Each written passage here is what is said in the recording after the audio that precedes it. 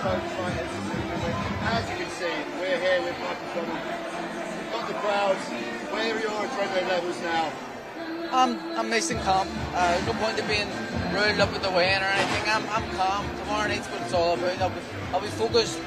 As you've seen this whole week, I've just been calm, relaxed. No need to have any hosti- hostilities with the opponent. I'm here to do a job, and that's win. You know, so I'm calm, relaxed, looking forward to it. Is that a lesson you've learned from the Leigh Wood fight? Because I remember speaking to you and you said you were a bit overcharged and the Yeah. energy was. So it's, it's about just staying, just staying relaxed. There's That's no need it. to waste energy at this point. Nah, nah. Listen, I've, I've been calm all week. I've actually, I've, I don't think I've ever been this kind of calm. Um, and definitely a lesson from, you know, the last World Title Challenge where I was getting riled up, shouting at the crowd and stuff, and even walking to the ring, I was doing that. So, now I'm, I'm, I'm relaxed. I've learned the lessons, and, and now I'm focused. And Lopez himself says he enjoys being the away fighter. He, he uh, flourishes in, in difficult scenarios with difficult crowds. Are you thinking that, like, even though tomorrow night we know what the crowd's going to be like, you're just going to have to try and cut them out and focus on your own game?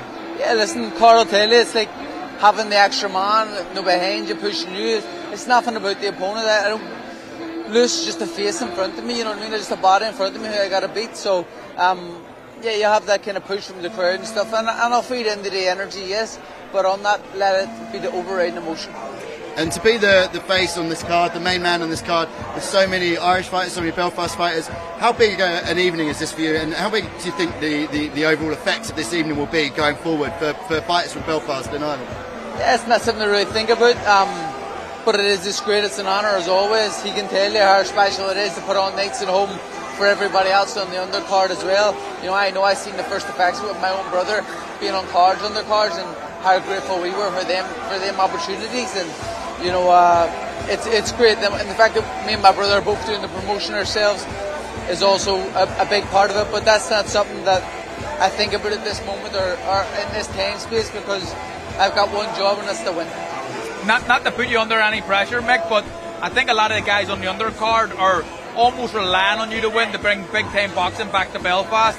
And I think without getting too carried away, you can you can be carrying this this city anyway a, a long distance in terms of bringing the big fights back.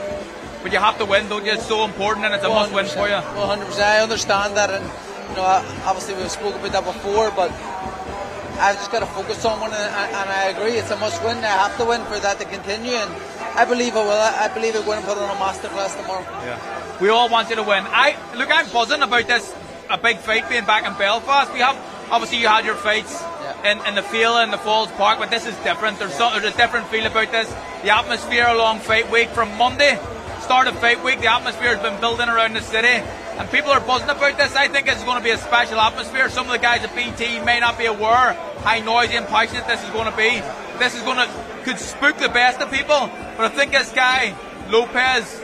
I don't know how, how the crowd will affect him. I think he just fights his fight, and that's why it's really important that Mick just fights his own fight as well. I agree. I agree. Mick, you've got 10,000 people are going to be screaming for you tomorrow. I'm going to get, get, let you get to it. Thank you. Concentrate on the Good big luck, night. All, All the the best. best. Thank you very much for your time. Appreciate it.